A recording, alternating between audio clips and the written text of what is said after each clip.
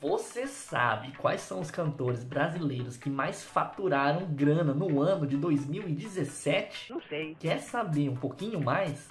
Não! Então acompanhe o vídeo de hoje e já vai inscrevendo-se aqui no canal, ativando as notificações e clicando no sininho. Clica no sininho aí, hein? Bom, pessoal, então vamos conferir os cantores que mais ganharam dinheiro no ano de 2017 e que prometem bombar neste ano de 2018. Sem mais enrolação, bora pro vídeo. Caramba, já tava na hora. E na décima posição temos a cantora Anitta, que é um fenômeno no Brasil, com suas apresentações carismáticas. Atualmente o seu cachê fica entre 120 mil e 150 mil reais.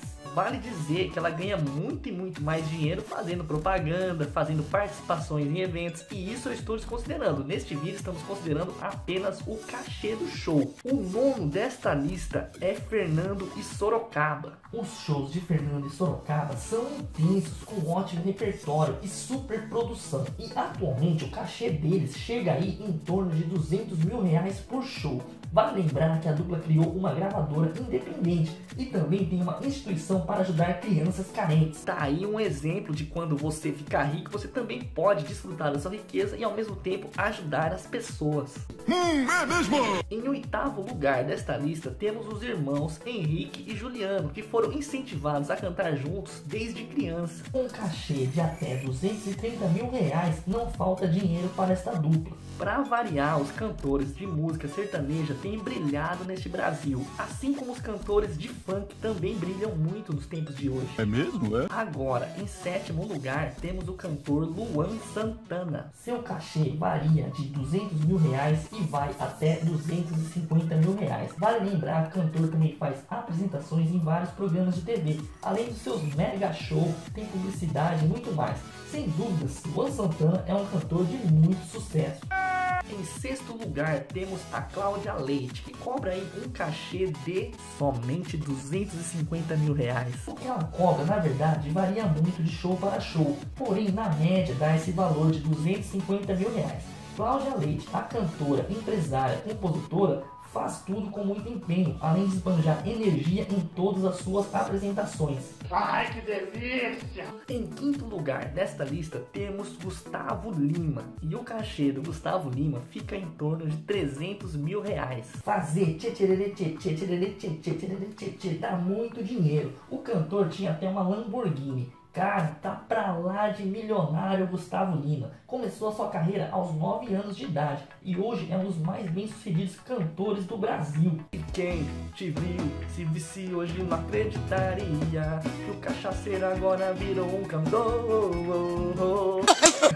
em quarto desta lista temos Jorge e Matheus. O seu cachê varia aí em torno de 400 mil reais, podendo chegar até 500 mil reais por show. Pensa, meio milhão de reais. Os seus shows têm sempre casa muito lotada e muitos e muitos fãs. É mesmo? Foda-se. Em terceiro lugar, temos a cantora Ivete Sangalo, que também cobra aí pelo menos 500 mil reais por show. A cantora Ivete costuma realizar de 2 a 3 shows por semana, então dá para ter uma noção de quanto ela ganha de dinheiro. Em segundo lugar, temos o Wesley Safadão, que cobrou aí de 500 mil reais até 600 mil reais por show. Pois é, ser santinho não compensa. O negócio é ser safadão mesmo, ganhar um monte de dinheiro e pegar a mulher Em primeiríssimo lugar, temos o rei Roberto Carlos. É mentira!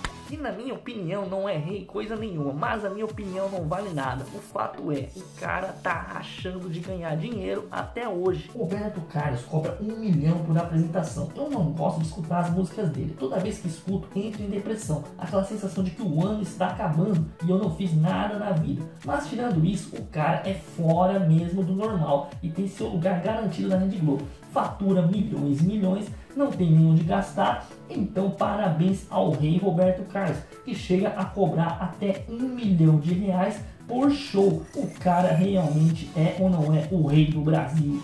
E se você gostou deste vídeo, você já sabe, não deixe de deixar o seu gostei. Inscreva-se aqui no canal, compartilhe o vídeo e até a próxima. Conhecimento, contabilidade, economia, empreendedorismo, curiosidades, é tudo aqui no canal Contabilidade TV.